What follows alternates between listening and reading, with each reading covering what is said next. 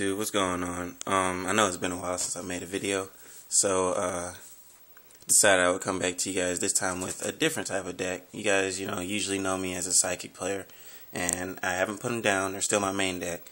This is a fun deck, Gem Knights. Gem Knights are extremely fast, extremely powerful, and I'm showing you my version of it. Hopefully, you guys can help me out a little bit.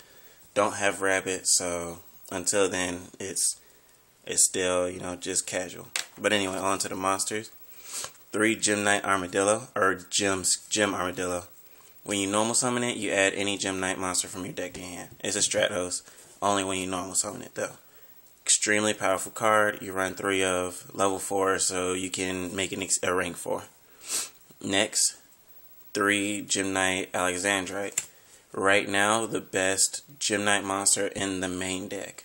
Um, next set, when we get Obsidian, he's going to be number two.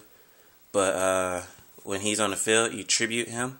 You special summon any Gem Knight, any normal Gem Knight monster from your deck. Um, I'll, I'll go over some combos later on with it. Then the last effect monster that I run is Gem Turtle. When it's flipped face up, you add Gem Knight Fusion to your hand. The best card in the deck is Gem Knight Fusion to me in my build, so that's like that's extremely important. Knight Crystal. I run two of them, level 7, 2450 beater.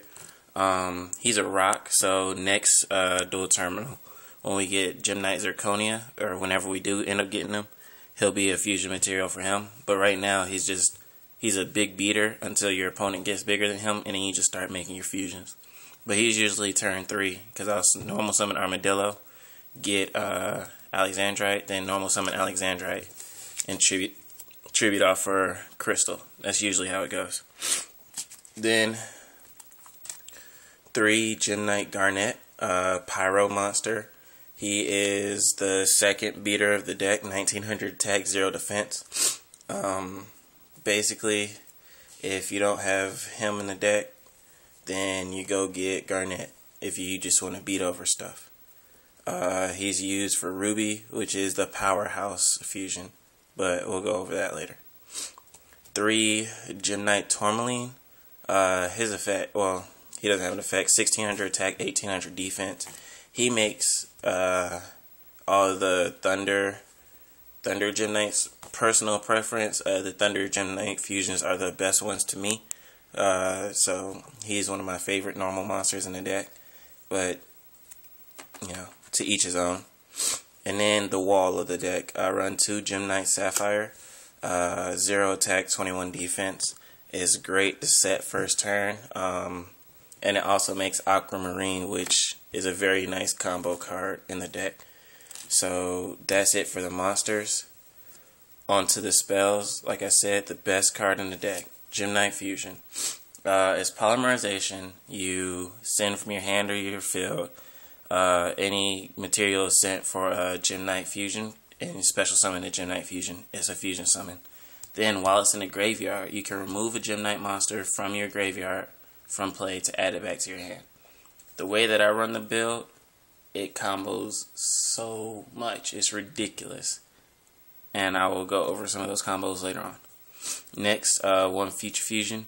Uh, just get your materials in the graveyard Usually I'll send uh, tourmaline and then either alexandrite or sapphire.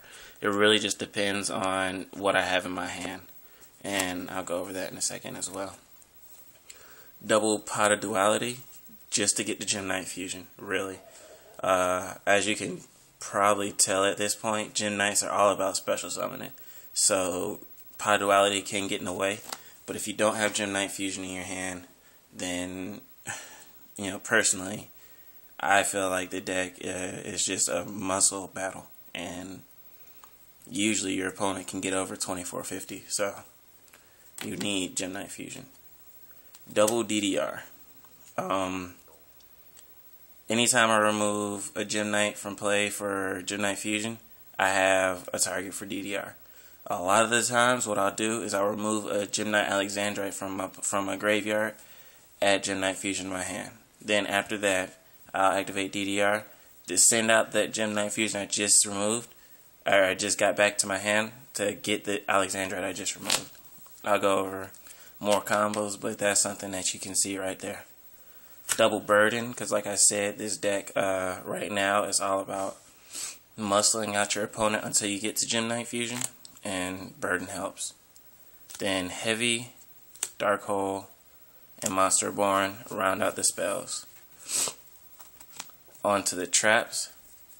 Double call um, makes Alexandrite that much better double Raigeki break instead of MST. Um, you're always going to have Gem Knight Fusion in your hand when you do get it, and then it also gets rid of Crystal when you draw them, because that's a two tribute monster that you cannot tribute for. Double D Prison and double call. I mean double comp for um, for some protection.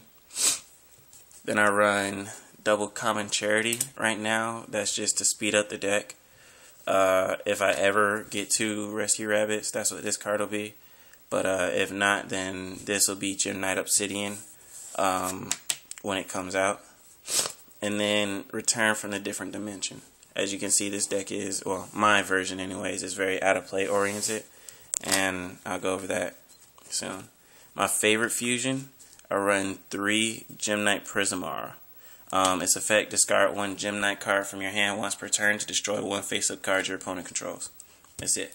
And uh, it must first be fusion summoned from the extra deck. That's all its requirements are.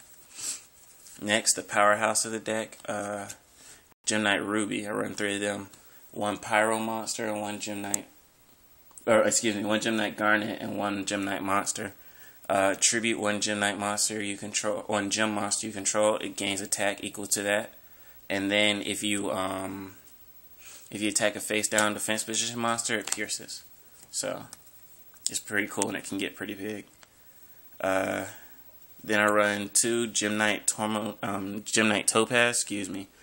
Uh, it takes Gem Knight Tourmaline and a Gem Knight monster, 1800 attack, 1800 defense, and it's a double attacker. So they have a they have a monster weaker than 1800 on the field. You attack, its other effect is your opponent takes damage equal to that monster's attack.